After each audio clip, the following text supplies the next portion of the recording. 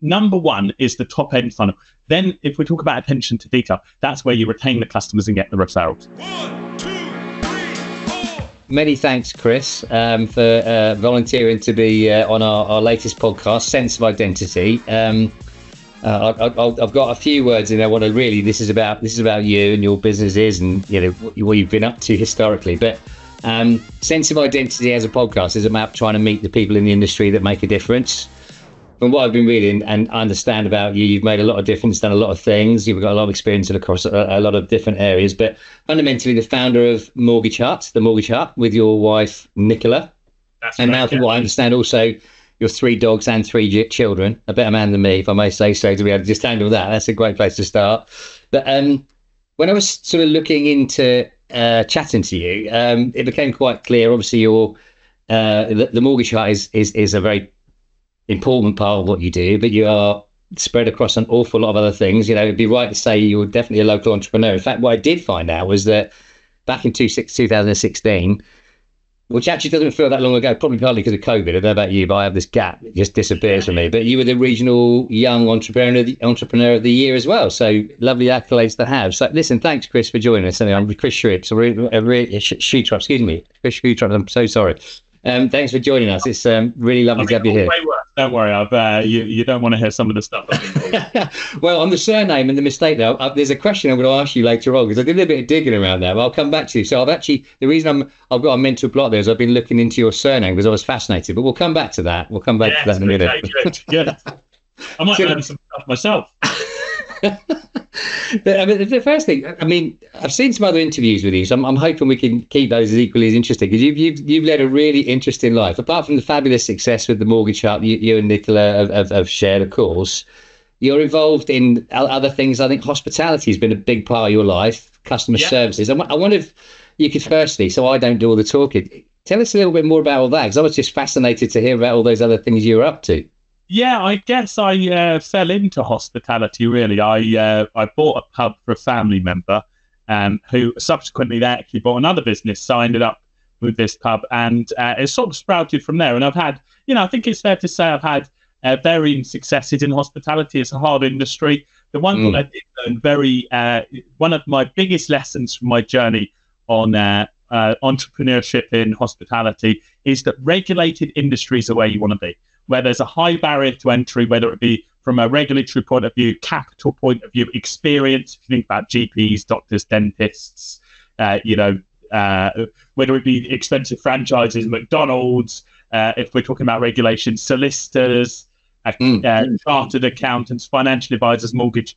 Um, you know, th- where industries are regulated and there's a tougher barrier to entry, you generally see the margins are higher uh, they're a little bit easier to make work. Uh, they have their own nuances. You know, hospitality, um, it's an industry where um, there's, you know, it's a lot of work and um, it's uh, at the lower end of the market. It's a model that works really well for owner occupiers who are willing to work long hours uh, and put a lot of effort in. And you know, you can own a, a, a, a pub owned by a brewery, which are the least profitable generally, uh, where you can walk in with five grand to get it and you can still earn 150, 200 grand a year profit if you run it right and you do it well.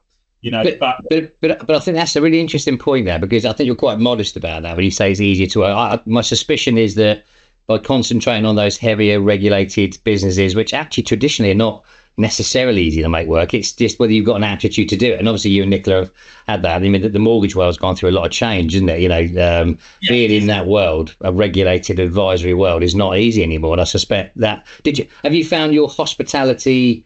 That the impact of your working in hospitality and that consumer focus, because I know, you know, well, I, I, think I think the success to any business, if I'm being totally honest with you, is about putting the customer at the heart of everything you do.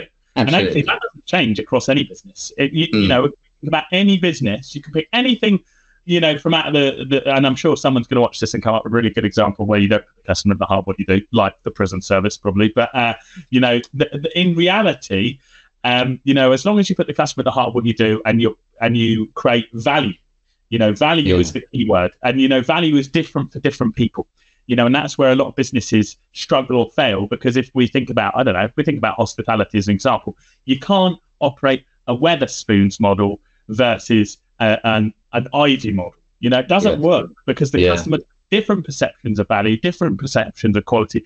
So I think you've got to, you know, what we've done on the businesses that we have done exceptionally well in hospitality, we've understood the market, we've understood what the customers want. Uh, we've had a vision on the product and the experience they we want to do.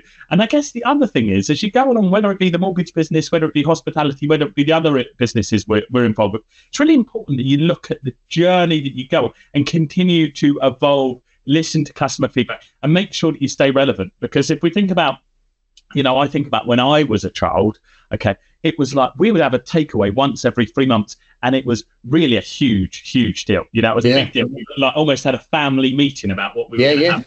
You know, Yeah. now our, in our household, more often than not, we probably have takeaway more than we eat. You know, so, some of the Yeah, yeah.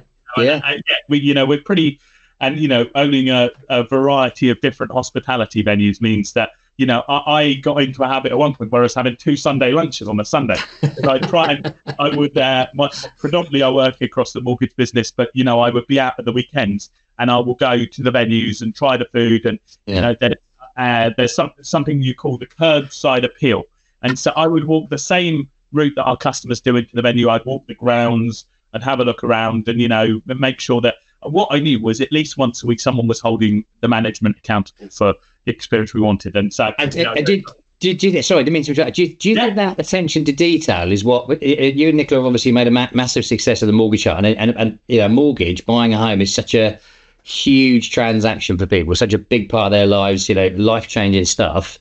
It, it, it has that attention to detail been something that you think has been led to your success in you know in both directions actually that, that customer focused stuff.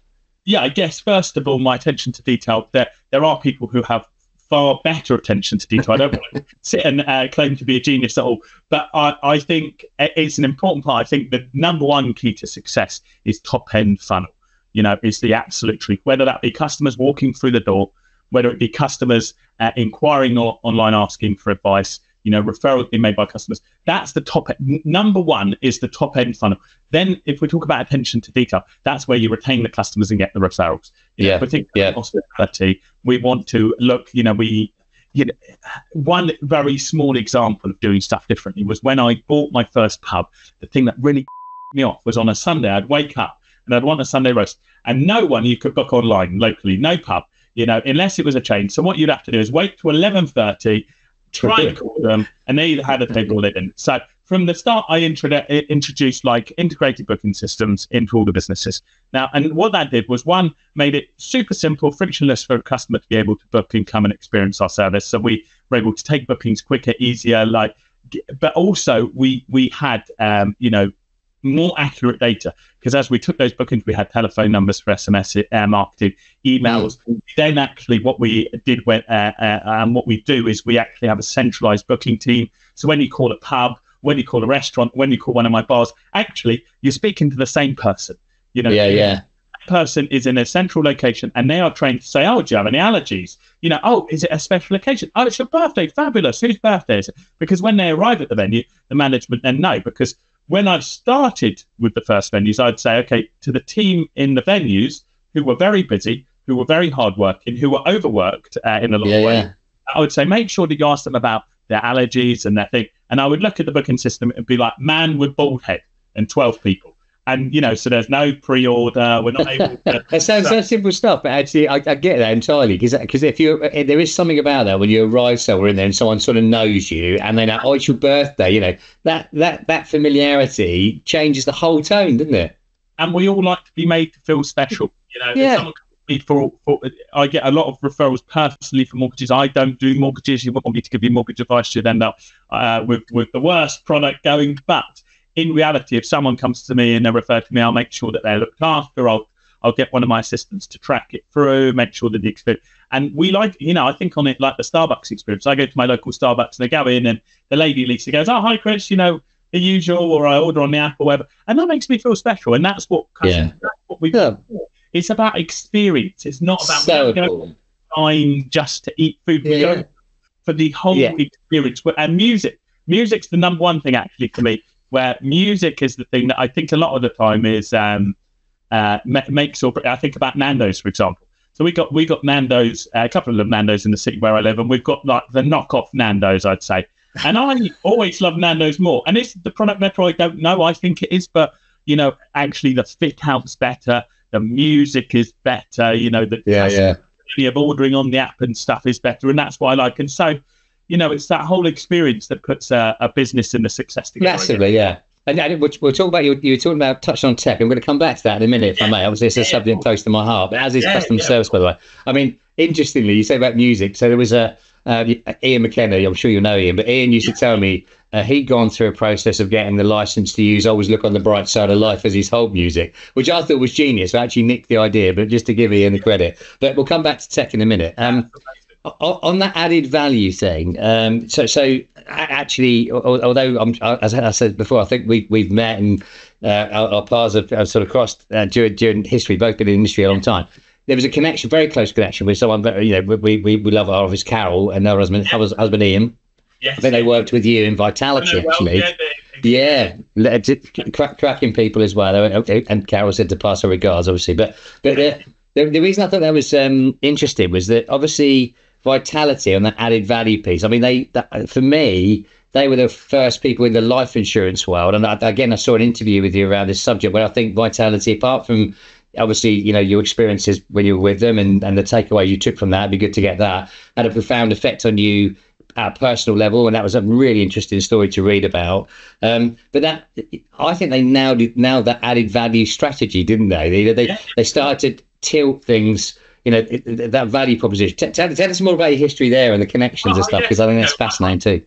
I, before I go to that, I guess I was uh, lucky enough uh, a couple of weeks ago to go to their executive summary of their uh, their claims for 2023. And you know, I think it's something along the lines of 800 million of additional value that they give out to customers uh, on top of paying stuff out you know, and they, uh, but their products are also very different as well. So without going into too much technical product knowledge of like critical illness, normally critical illness policy, you get cancer, it pays out, it's done. You know, most customers think that the policy will keep going, it doesn't. You know, Vitality, very new product, uh, serious illness, illness cover.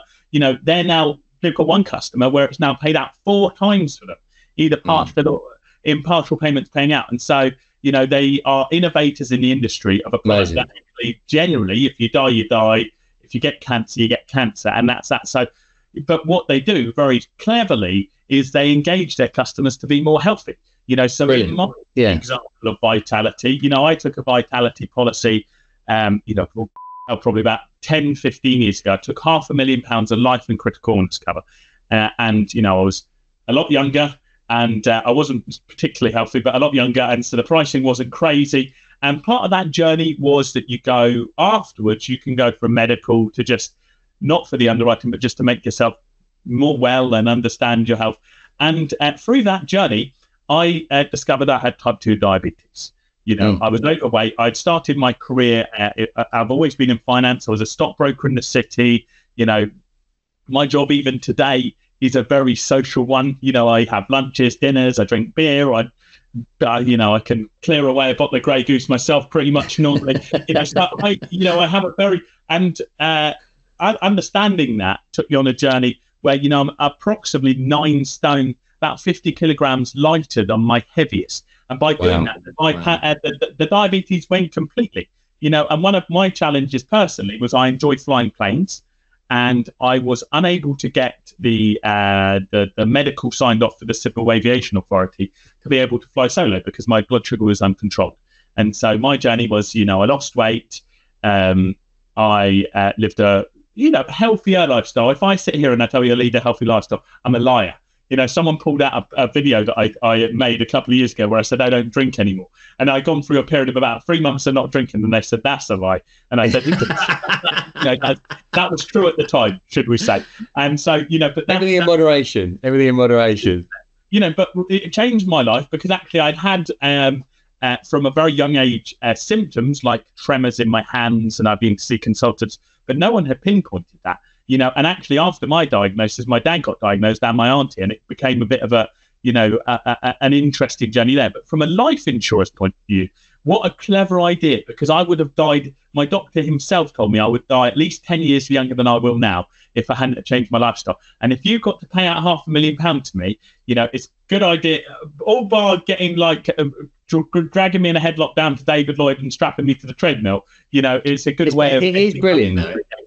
It's it's just I, I love I love that lateral thinking. Obviously, this is something that I think you know entrepreneurially you, you've obviously demonstrated by using experiences from that side of your life over there. I think that's super. And I think personally think on the the vitality thing, you know, going beyond the brand. A, a, a close friend of mine, I remember talking about life. ins- I don't know why the hell we got into the subject, but he said, "Oh, yeah, my life insurance policy is amazing." And so, tell me more about it. And the second he said it, because of you know, I've been involved in that, I knew, I knew what he was going to say. He said, let me give you an example. He said, My wife got a fantastic discount on this carbon bike. My son goes to the cinema once a week, you know. And I'm, I'm saying, But what value? What, what about the life cover? He, said, he couldn't actually tell me about the policy, but there was no question it was going nowhere because of those added values. Brilliant. and vitality a little bit like technology when i look you know and, and i know we'll get onto this but when i worked for a technology business in the middle east you know i worked in an incubation hub for new tech ideas and the thing that i always looked at was you know how you reach the customers to start with and then how you get them to engage. And vitality's biggest challenge they've got a great product. They, they have two challenges. Uh, the first one is the advisors who make the recommendations understanding how great the product is you know. And then the second thing is getting customers to engage. And you know it's a little bit of of that uh, once customers engage with it they're they're, they're sold on. And there's another thing that life insurance a little bit like if we flick to something like sky for example sky's biggest problem is getting customers to be loyal and to use it and to engage and keep it okay? So that's the same with life insurance. You know what happens is people go five years down the line they forget why it is you know we go through a bit of a cost of living crisis maybe they lose their job they don't cancel sky they don't they cancel netflix first they cancel their life cover and actually they paid all these premiums and in reality you know bar you know the horrible things that happen in life generally you're going to claim later in the policy rather than at the beginning of it. Generally speaking not always of course. You know we see Mm. we probably have about 10 to 15 death claims across our financial services business on insurances a year. So you know we see 20 i saw a couple of years ago 28 year 28 year old female her husband uh, you know was a roofer 34 and he had a heart attack whilst he was on the roof Oh that God. didn't kill him. Mm. what killed him was falling off the roof you Mm. know and stuff like you see stuff like that and you think and that's where you know when i talk to my team yeah and that's where when i talk to my teams i say to them look i don't want you to hard sell customers anything but it's our job to make people every everyone know their options and so that's uh, Totally, yeah. you know, those Yeah. type of things are really Let's head down that technology track. I'm not going to stay there too long because I know. And so tell, tell me more about your your um, that experience of you in the Far East. I know there've been, uh, you know, yeah, I think you were out in Dubai more recently as well, probably for other reasons. But yeah, no, please Yeah, more so, about that. know, the- the reality was, you know, I've always been, you know, I'm I'm lucky when I started this, and I'm starting to get to the point where, unfortunately, this isn't applicable anymore. But when I started the mortgage business at 21, you know, most of my competitors were middle to later age white males, generally speaking. You know, that was it. And then, you know, they had great marketing ideas about the yellow pages and Thomson Local and this and that, and you know, and and and that was it. And you know, it was and uh, and chasing after estate agents. And you know, I was always interested in Facebook marketing. You know, we were very early innovators with Facebook marketing back in 2014. You know, we use a lot of SEO now. We've just started using a lot of email outreach and things to to reach our target audience. So I've always been really interested. And back in 2018, I was approached by, uh, you know, a billion dollar tech business in the Middle East. They bought a mortgage business. It wasn't doing particularly well. It was a bit stinky, and um, you know, and they said, "Oh, will you come and run it?" And so the deal got done, and I started working at running this business in in the Middle East. And it was, you know, it was night and day to the UK. We, before we get onto technology, I guess the first thing was there was no regulation. So you know, you went in, none of the mortgage advisors were qualified. You know, the first week it was like the marketing material. You know, the rate was from one product. You know, the the the, the standard variable was from another. The fees are from another product, and they put it all together. Not and not the company that I work for, by the way, but our competition. We put it all together to make it look like one product. And and you know, I remember uh, sitting. Uh, so the, the you know the UK mortgage market's pretty good because it self-regulates to a certain extent on commissions and price bias. So actually, most mortgage lenders will pay. We have 110 lenders across the mortgage business, roughly. They pretty much all pay us the same money. So there isn't what we would call a price bias. Mm. If I have, I'm going, oh, well, I get paid double from HSBC what I do from NatWest, which Mm. creates good behaviours, good outcomes. And the industry does that generally, although there is regulation there, generally does it itself because you know they know that that's the right thing for customer outcomes Yeah, yeah. there I would uh, art, art when I went in the top lender that was recommended uh, by the company was actually had the fifth best product. And when I said, "Oh, why do we recommend this?" and they said, "Oh, well, the, they pay us double the money." And I, Right. and so I remember I was sat around with a load of Emiratis from you know the the nation's main bank, and you know you do have to be a little bit. It's not exactly like here. You have to be a little bit more tactful. But they said, "Oh, you know, you you stopped sending us business. Why is that?" And I'm just like, "Because you know your product is the bottom line." And they're like, "Oh, that's That doesn't sound that so, actually. no, well, and that's it, and that's uh, you know, you can start to see how you start to ruffle some feathers. Uh, so I, uh, you know, and I and I said, look, I'm not. There's, and they're like, but we pay you double what everyone else does, and I said, well, you know, respectfully, that doesn't bother me, you know, Mhm. because actually, good customer outcomes is what's going to drive success in any business. Yeah. And taking that position helped me, and you know, everyone around me, uh, my senior management team, thought I was actually mental. You know, they thought I was actually crazy because I come into this business and it had issues with, you know, racism, sexism, bullying, all of this. You know, and I'd and and I'd stood up there on the first day and I said, you know, if I'm not going to bully anyone, no one here is going to bully any- anyone. You know, that is it. This is done. You know, and I and I said like I'll treat you all equally. I'm not listening to what anyone says, but mark my words, if you mark your cards, you're gone. And so, you know, we started afresh, we moved forward. Um, but actually, what I was able to do was go to other banks. I met a very good CEO of a, a, a, a, large bank uh, from Eu- he was a European. He ran a, a Middle Eastern bank, and you know, I said to him, "You- "Look, you're going to have to believe in me because I can I can 10x what we're putting to you, um, and uh, uh, but I need the product to be a lot better, and I need you to pay me double the amount." And he was like, he looked at me like I was crazy, which probably I was. There was probably a little bit of inexperienced optimism there, in that you know, but you know, he did it, and we and we did it, and you know, Yeah. I think we went from you know, we essentially within six months had f- three times our actual overall business, um, which was fairly significant.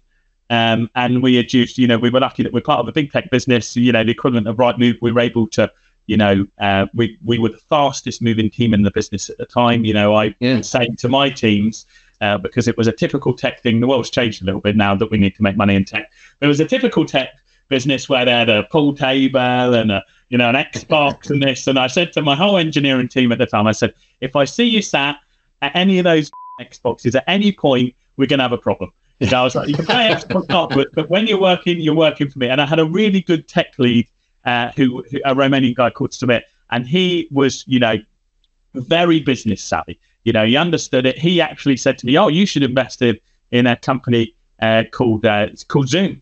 You know, they're great. You know, and and I was like, oh, cool. We had Zoom rooms before.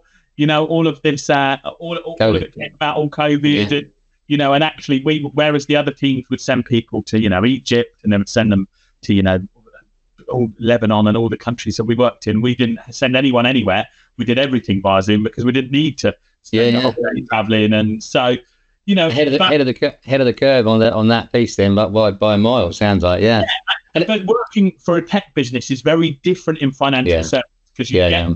attitude of not this is how we do it. And the challenge in the UK that we have a little bit, okay, is that lenders have legacy systems. There's a lot of fragmentation. They all do it differently, and they're starting to really make some amazing progress. Yeah. That progress is very challenging for them and very expensive. You know, whereas when you have, um, you know, when you work for a tech business, you say, how, what, what, what- what's right for the customer? How do we drive this forward? What's the experience? Yeah, yeah, Yeah. a lot of learnings that you take from e-commerce, you know, and a lot of digital and online journeys, and apply those and make some real, real progress. So, And have you have, have you been able to apply that? I mean, is technology a big part of the the Mortgage Hut these days? I'm, I'm, I'm assuming when you're sourcing, you know, you mentioned that number of lenders, you've got to have access to the to all that kit. Some we, uh, I think, we're pretty tech savvy. You know, we Yeah. when it comes to lead generation, we have over 100 customers every day contact us. Our cost to acquire the customers very, very low.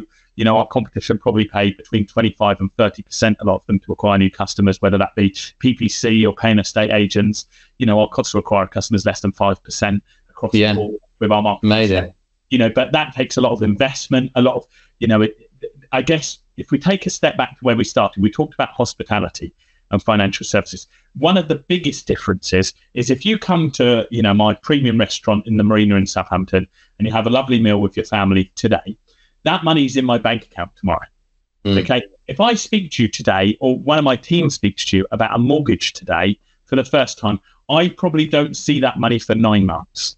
Mm. Okay. so the mortgage business is very capital intensive. You know, I've just employed another four new mortgage advisors this week. Okay, I can quite comfortably say that probably will eat out somewhere between 100 and 150 grand of cash flow. Probably. Mm. Like yeah. That. And that's that's a lot of money for small. Uh, we're an SME. We're not. I still own the business. You know, mm. it's, we're backed by a VC. It's not like we have investors. So, you know, the difference, I guess, with the mortgage business is you need to, and and and it links into sort of the the marketing approach that we take. You just need to have a, a little bit of confidence in yourself. Yeah. You know, back yourself with it, and and and really, you know, you you do have to sort of have have you know a little bit of balls, I guess. Sometimes. Yeah, yeah. Just comes through not, not only the bad year that we had with Liz Truss and the economy, which I'm not blaming on her, uh, but you know, appeared to be uh, triggered by some actions there. And, yeah, yeah. That, that, that had a fairly significant impact on our cash flow of hundreds and hundreds of thousands of pounds. You know, coupled with I've just gone for a huge regulatory change, which mm. probably disrupts my cash flow by half a million pounds. So actually, you need to be yeah relatively confident. You either need to be confident or stupid. And I'm equal both sometimes. Yeah, yeah, yeah, a little bit of mix of madness helps in there too. But it sounds like there's plenty of both. Um, just, just on that, I mean, uh, you know, obviously that whole piece about looking after people absolutely resonates. I mean, you know, we we live and breathe around that ourselves. You know, because I just think it's a. Uh, it, it's a skill that's to a certain extent been lost. And I don't understand why. To be honest with you, it doesn't feel like it's complicated, but but but you know, you obviously you know that that's a big focus for you. It, I, I, know when I, when I was looking into things a bit, and I know you mentioned that, that well, I'd seen that there was a mention of your connection with the armed services, and in fact, I think you you you're in this. Are you still in the specials? That's not the group, by the way, isn't there? Yeah, is that still part of your life? Yeah. So you know, I I, I was a special constable for Hampshire Police for I don't know, four or five years, and yeah. I, I still an awful lot of friends there. Uh, you know, and up until a couple of years ago, we dealt with two of the police federations, which are like the unions for the police. You know, we've scaled that out relatively. You know, there was a, there's been a couple of, you know, should we say stars aligning, which have meant that there's been a bit of a perfect storm for us to uh, land grab there, you know, and make some progress. So we've gone from two federations, and there's 48 in the UK to now being the preferred mortgage broker for 23 of them. You know, we could take more and make more progress. You know, our reputation within that market is very, very strong. You know, our, our customer outcomes, you know, we do a lot of work. We've just started working with the main credit union for the police as well, dealing with customers that they can't help. Um, you know, and and and um, and so that's a good element of business. It's not the most profitable, but they are some of the most loyal. Um, yeah. So and and business is really in the mortgage business specifically. I I learned very early on looking, from say from the outside into people's businesses, and this would be my tip for anyone who's starting out. Just look at who does it best. You know, look and listen. And actually, I was cheeky enough that I went around and spoke to people. I'd go and speak to my competition and think, oh, that's a good idea. I'll do that. Oh, that's a good idea. You know, and have the respect to do that. And um, you know, it, it, it's uh, I, I guess I learned early on that you don't want all your eggs in one basket when you come to lead sources. You know, yeah, yeah.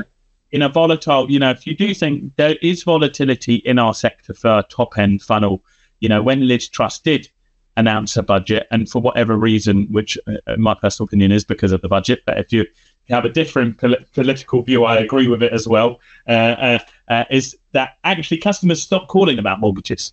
And so you need to have a real good blend. So police did account for a 1.60% of our business back in 2015 when we were a lot smaller because um, we had we have a page of about 20,000 people on Facebook.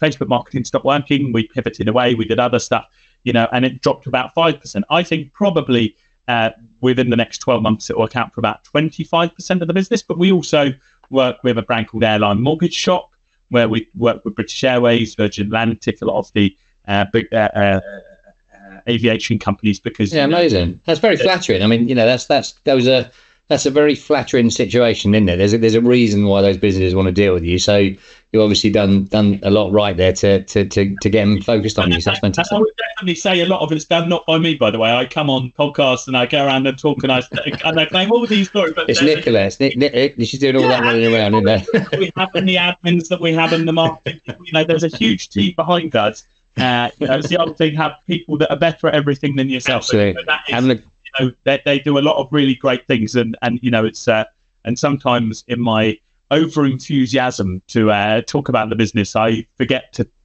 uh, credit them with most of the success. No, no, no, no. I think you've listened. I think you've you've, you've said that. You know, um, as part of weaving through this conversation, and I totally agree. I mean, the team, your team is everything. The people in your team are everything. So, um, uh, listen, we could. Uh, I, I just got amazing there with the time flies. I've got a couple of things I wanted to get in and make sure I get in. So, so on, on the eve of England, you know, this has been filmed. I know we're going to be after that, so we're going to know the result by by the end of the evening. But um, uh, uh, on the eve of the is it quarter final tonight? Netherlands versus the UK. I, I, what, when I when I um and I, I, forgive me at the beginning, I, your your your surname is actually drummed into my head because I've been looking up a bit about uh, Schutrups and your well, surname because I was intrigued. I can already answer your question before you ask it, which is either way tonight I win.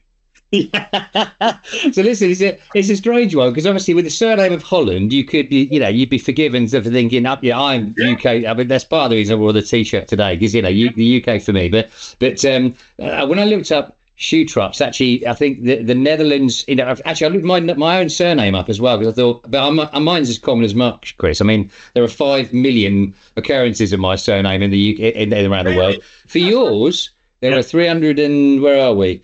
314. So, firstly, you yeah, you're much more unique, you know, and uh, there we go. But you can, it's easy to be remembered, but also uh, if you get anything wrong, it's easy to be remembered. yeah. but, but, but, there's a Netherlands collection there, apparently. 307 incidents in the Netherlands. I couldn't find out what the what your surname actually meant, but I'll, I'll come back to that one. Yeah, yeah. I just thought I was interested. I can tell you, like, uh, my surname actually is from a German town. oh so uh, and so uh, my, my that's where the, the, the name originates from. And then uh, my dad's side of the family lived in the north uh, side of Holland. I have actually a relatively famous cousin who's a DJ, um, uh, or who was a DJ when I was growing up. He was the one that you know stole all the good email addresses, should we say? Um, but you know, that, as far as I'm aware, you know the name's very rare in Holland as well. There's only one, you know, my father brought the surname to the UK, so we're the only family. So it's, as I say, it's great for, uh, you know, and I, I, you can't tell from this, but I'm six foot seven as well. So, you know, there's lots of distinct reasons distinct, why. Yeah, absolutely. Um, good for when you go out and talk, but also, uh, you know, uh, uh when I'm stood in a bar or in an event at six foot seven, you're going to be, you're going to be seen. You're going to be seen. Brilliant.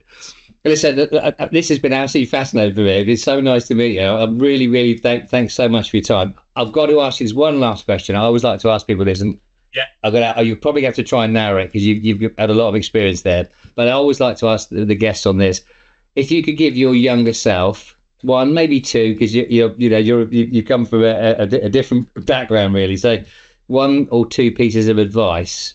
Can you think what those would be? yeah, like, and it would be to people that I speak to all the time as well. Just do it, you know, because especially with first businesses for people, they procrastinate and they think, oh, what if, what if, what if? And you know what? It's like everything. Don't worry. You know, when you get to that bridge, you're going to sort it. You know, it's uh, it's one of those things.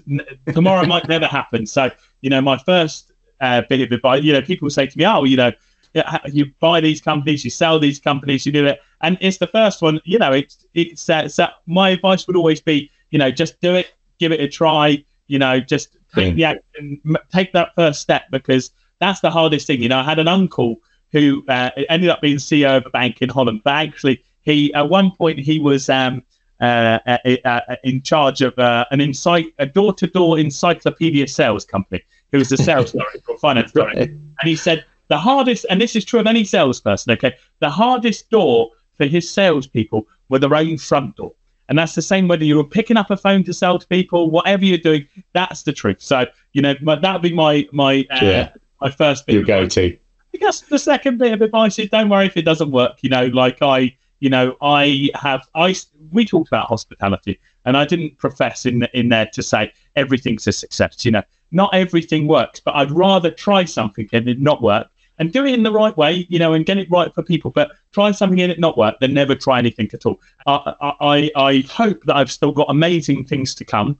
Uh, I'm only a little bit on the journey, I would say, but you know, I, I think it's about just you know better to try sure. something than never try at all. Absolutely, superb.